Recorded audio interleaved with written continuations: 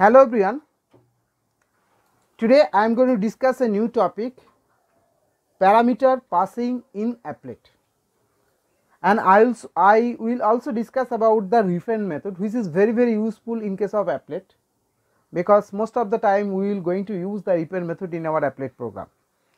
In the previous lecture I have discussed about the delegation needed model event model where I discuss about the different event classes such as uh, action event, mouse event, mouse wheel event, key event, window event, focus event. And I have also discussed about the corresponding listener class. For example action listener, mouse listener, mouse motion listener, key listener, text listener. So many listener class I have discussed in the previous lecture. Even I have discussed some of the component that has to be added in our applet program in such a way that uh, uh, that we can get the better output and we can use the applet programming usable way. Uh, for example, I have used the button, menu item, text field, text area, checkbox and we have discussed all the method. And in this lecture I am going to discuss about the how to pass a parameter user defined param parameter to an applet program and how to use the repaint method. So, let us start with the first topic parameter passing in applet. So, parameter passing is in applet in Java is very very very very important concept because most of the time if a user want to pass user defined parameter to an applet with the help of we use param tag. So, this is the name of the tag param okay right param tag and this tag is belongs to uh, we can say sorry it is a sub tag which is under the applet tag. So, if I want to write the param tag so, first we have to write applet this is my applet tag and within it will be treated as a sub tag param okay and we know that HTML is very well, but uh, how to use the uh, HTML code in our to write a HTML page. So, in this param tag we basically use to pass a user defined parameter to an applet. So, we are already familiar with the param tag. So, right now param tag has two attributes one of the attributes called is name and another attribute called value. So, we write this is the name of the parameter param name ok. So, for example, the name of the para, param tag is for example name ok. So, it is a string and another parameter is called value. For example, I am passing a value with the name for example SUBHAS Subhas okay. Then we have to close this tag. So, this is the one of the example of param tag how can I use in my program?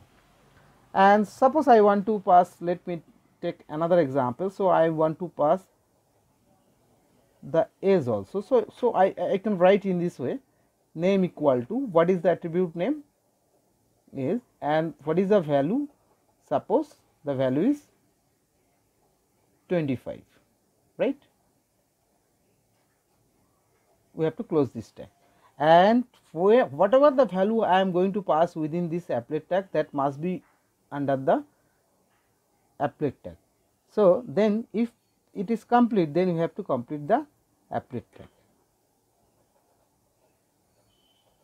Here I am just discuss only the regarding the param tag. So, if another any other attribute you want to add you can add here there is no problem, but here I only concentrate on the param tag that is why I have written a two param tag one of the param tag is passing the name name another param tag, uh, param tag is used to pass the value.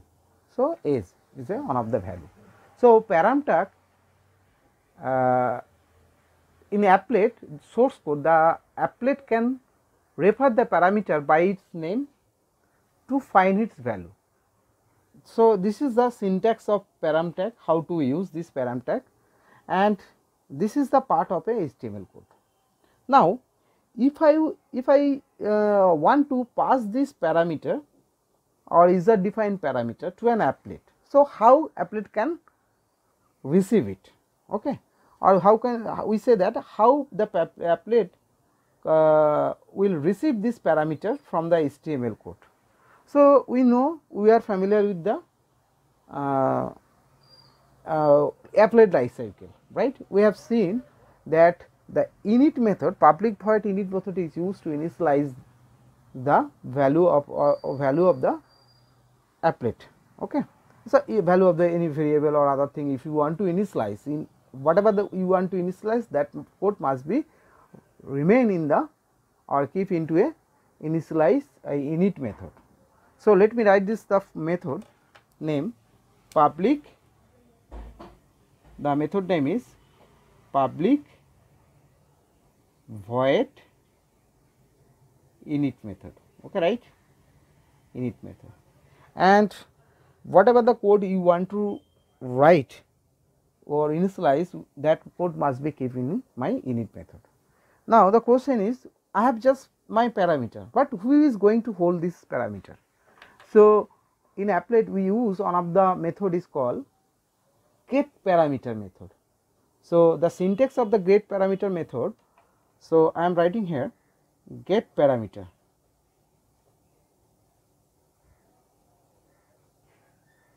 to receive the parameter from from my HTML page right.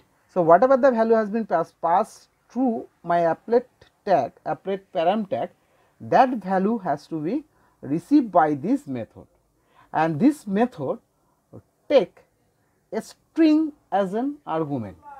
So, string as an argument. So, string we can write the param name. So, whatever the name of the param. So, that is string name okay. and the this get parameter method the return type is string. So, this is the signature of this get parameter method. So, return type is a string object and name of the method is get parameter and we can pass a string as an argument to this method. Okay. So, this is the syntax of get parameter method and any value that has been passed through an param tag everything will be received as a string. And so, whatever that string you have received in your applet program, if you want to want to change it or if you want to use this corresponding value or to other data types. So, you must the string must be converted into corresponding data type before it can be used. Suppose I want to uh, convert this value to an integer. So, I have to use the integer dot parseInt. I am just writing the name of the method by which we can convert to an string to an integer.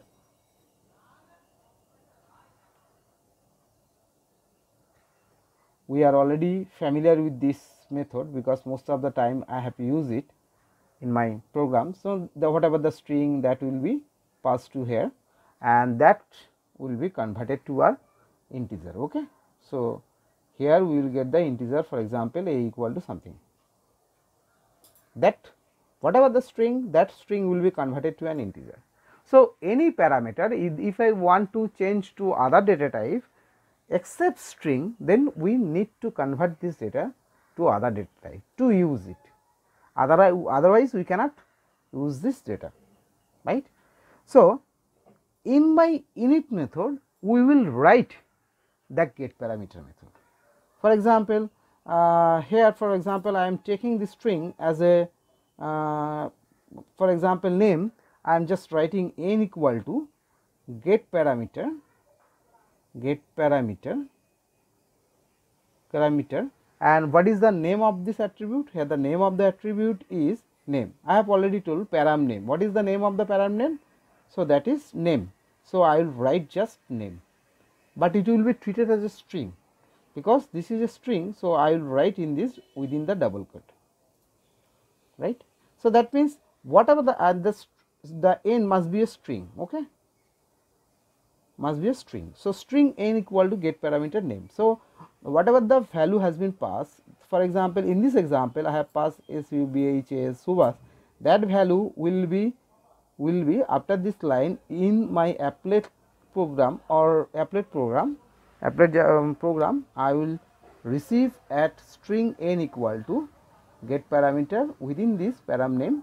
So, the value will be assigned to this string variable string object n and suppose the value is uh, 25 but when we will pass this value to our uh, through a parameter get parameter method then it will be treated as a string then we know that we have to convert this value to an integer. So, whatever the value for example, here if I want to send age, so age whatever the age is assigned or if I take any other value for example, by using get parameter. So, that value is converted to integer to is with before in another purpose. So, that is the ultimate way we can pass a parameter to a applet. Okay. Let us take a simple example, a complete example so that you can get the clear idea what I am talking about right now, how to pass a parameter. So, uh, this is one of the example, simple example I will I will show in uh, system also, you can check uh, yourself at home.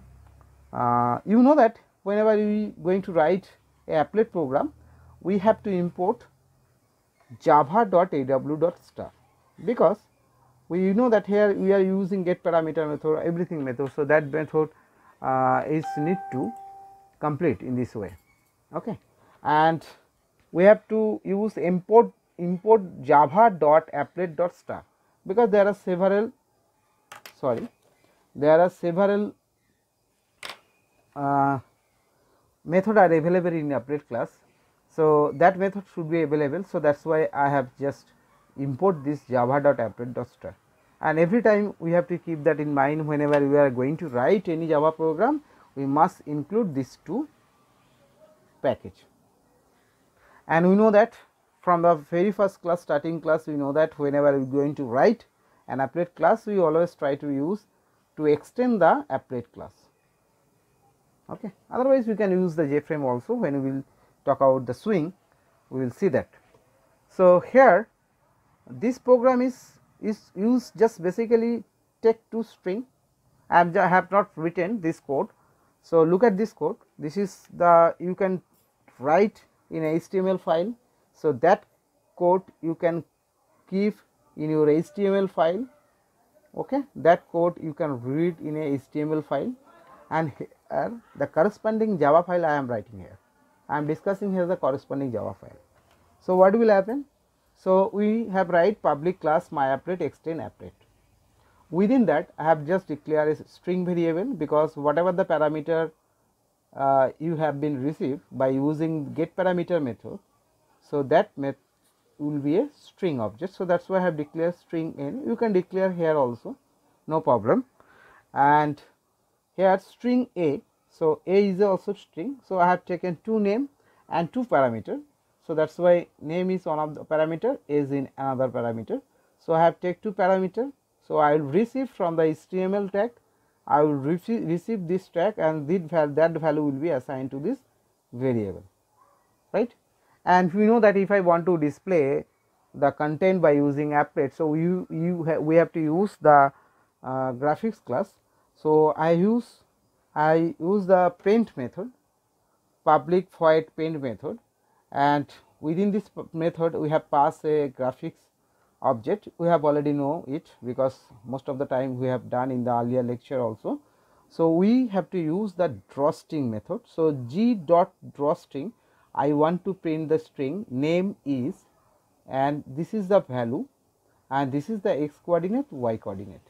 Similarly, in this example a is the value whatever the is that will be displayed and this is the x coordinate this is the y coordinate. So, it is a simple program. So, I hope you understand how to pass user defined parameter to an applet program. So, let us see the coding example so that you can get the complete idea. So, I have written a class, the class name is myapplet and it extends the class name and this is my user defined class name. So, you can give any num any name to as a class name and we know that uh, if I want to write any applet program we have to import two package one of the package is called java.aw.star package and another package is java.aw. Uh, package. So, whatever the method has been available in my applet class that method must be available to my program that is why I have to import this method import this package and we know that whenever we are going to pass a parameter by using HTML tag or within the applet tag applet code and let me see this code so that you get the idea. So that is my applet code applet tag okay? And this is my param tag right so we know that param tag has two parameter. One of the uh, attribute is called name another attribute is called two attribute one of the parameter attribute is called name another attribute is called value. So here i have just used two parameter. For example param tag one of the name is name and whose value is rahul. You already familiar with this one. And another attribute name is page age and the value is 25 right and whenever we call my java program so my applet program that parameter whatever the name has been passed to you that parameter is passed by this name and age. Okay? So it's a string and return type of this get parameter is string object. So that's why I have taken two string parameter string variable. So one is n another is a. So string n equal to get parameter. So the name will be Uh, uh, assigned to this string object n and the age will be assigned to this variable a. And we have used the public void paint graphics g okay? We pass graphics pass as the argument and we call the drawstring method. So g dot drawstring so that is name is then n. N is whatever the value has been passed. In this example i have passed rahul so rahul will be print here. Then this is the x coordinate and y coordinate where the value will be print. Similarly this age will be printed to 20 comma 40 in uh, pixel coordinate. So let me execute this code. So if i want to execute this code we have to we have to call java c. Let me call java c. Name of the file is applet. This is the name of the file is applet and dot java. So let me execute this one. So compilation is done. Okay compilation is done. So then we have to call applet viewer.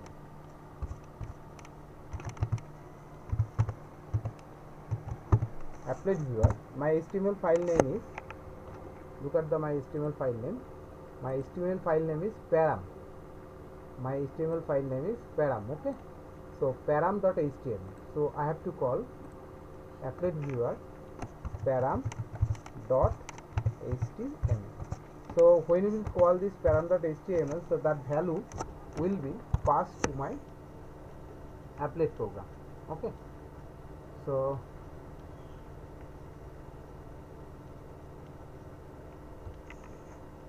something spelling mistake now let me execute this one yes it is running so applet is started and the name is rahul and age is 25 you can also let me check to change this name to some other value. Let me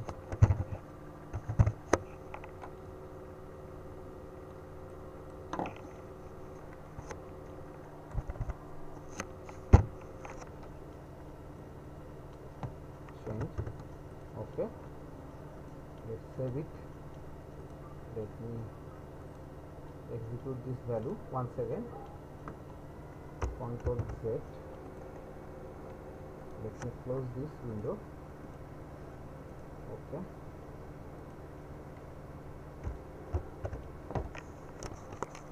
Now once again compile this program. My applet.java okay. Then applet viewer applet viewer is again there is a mistake. So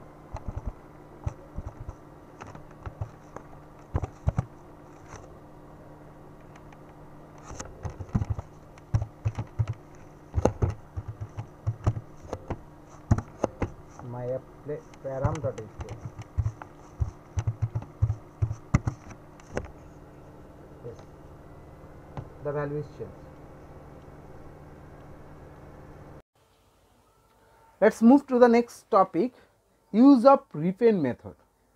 So, I already told you that repaint method is very very useful. Uh, as a general rules an applet writes to his window only when the paint method is called by the AWT abstract window toolkit. So, this raises an interesting question how can an applet itself cause itself window to be updated when its information is changed. Are you getting my point? Only one time paint method is called whenever we are want to display the content. But if I want to frequently change, for example, if an applet is display a moving banner, right? Remember. So, what mechanism does the applet use to update the window is time the banner called? So, this is a very very important example for necessity of repaint method. So, whenever we dynamically we want to change the content of my applet uh, view uh, content change uh, my uh, output. So, how can I change it? So, what may be, uh, be one of the fundamental architecture constraint impose an applet that it must be quickly and uh, return control to the run system right. So, whenever the paint method is called after printing the display the content in our console then it will automatically go back to the uh, sorry not console in my uh, yeah, applet viewer uh, in my window and that control is automatically changed to my run system. So, it cannot be created inside a loop we cannot create a loop inside a paint method to display content continuously. So, otherwise it will be an infinite loop right understood. I want to say that if I use a paint method and whatever the content I want to print. So, for example, we have seen just right here uh, the paint method we have already seen in the earlier example. Suppose I I want to print the name 10 times. So, if I use for loop 10 times, so whenever it will be called, so that loop will be continue again and again, but it will be possible. But sometimes it will be constrained because the control has to be returned to the run system. So, whenever your applet need to update the information display in window, it simply call a method is called repaint method. What is the name of the method? Repaint method. So, repaint method. Why? Why you call? What is the necessity of this? Why we call the repaint method? Whenever your applet need to update the information information display in its window that it simply call a method. So, when for example, moving a banner, so every time the content will be changed. So, that is why we use the repaint method and this method is defined by the AWT abstract window toolkit. We already familiar with this term. So, AWT runtime system to execute it call your applet update method. So, it will call update method okay. which in its default implementation call paint method. So, thus another part your applet output to its window simply store the output and then uh, and then call the repaint method. So, we already know that public void uh, method we are already familiar with this one.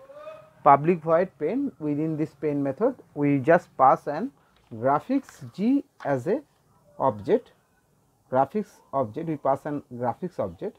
And here we are talking about the repaint method which automatically update the dynamic content.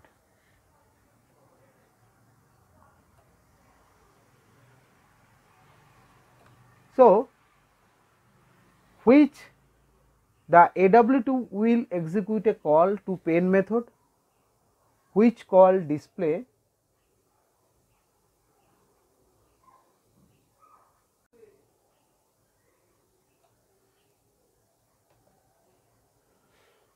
AWT will then execute a call paint method which can display the stored information.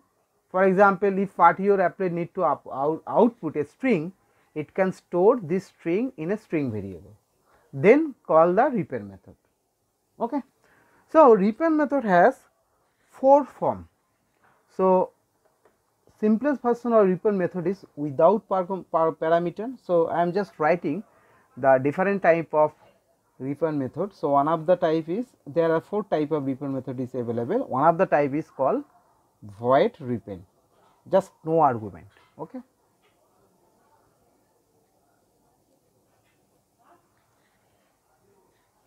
And the second one is void.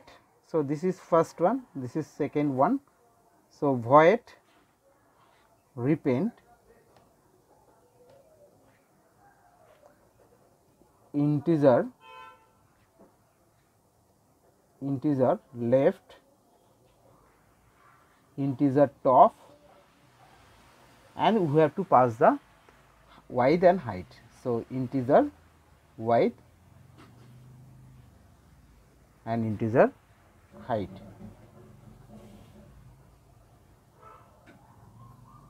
Okay. So, one of the method repaint method is called no argument another method has four argument. First two argument was uh, the coordinate of the upper left corner and that is the region of left and top and the second is the dimension that has been uh, specified in pixel. And the third one is void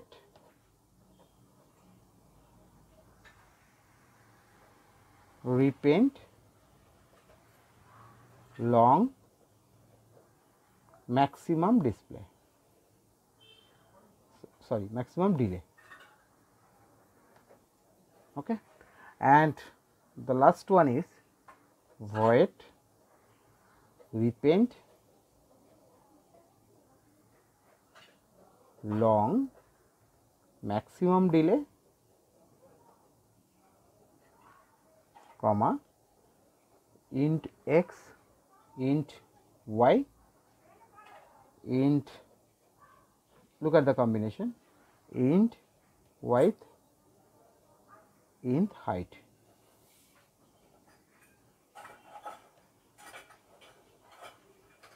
So, it takes 5 argument.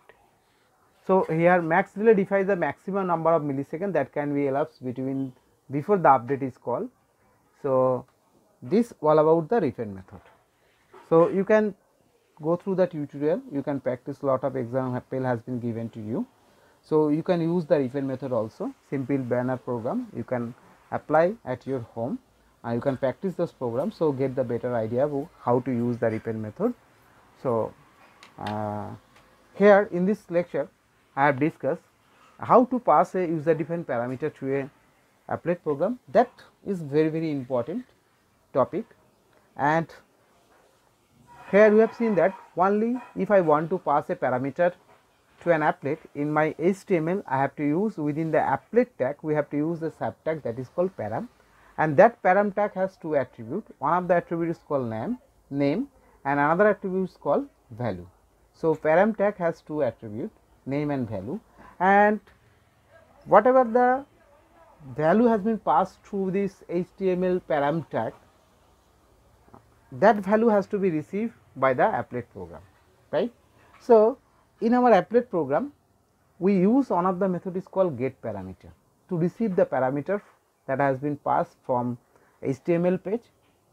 And that value has to be received by using get parameter and get parameter method has one of the parameter is string argument uh, takes one argument one string argument and the return type of this get parameter method is also string object.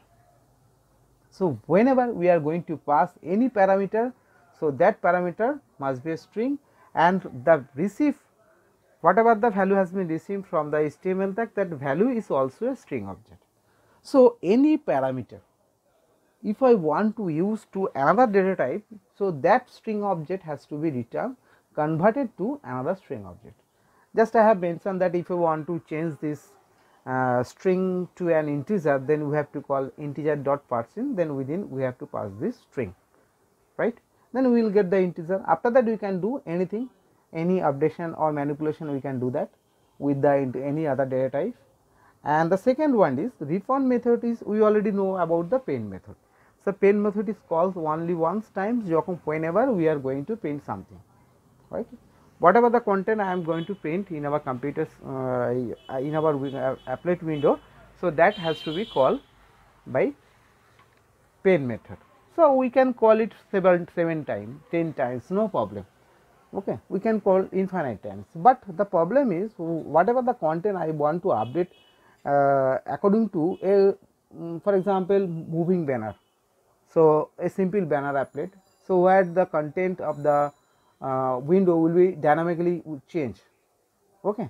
So in that sense the paint method cannot give us the better result because the whenever the paint method display in whatever the content has to be displayed in our applet window then the control has to be transferred to the run system. But if I alternatively think that we can use a for loop within repaint method.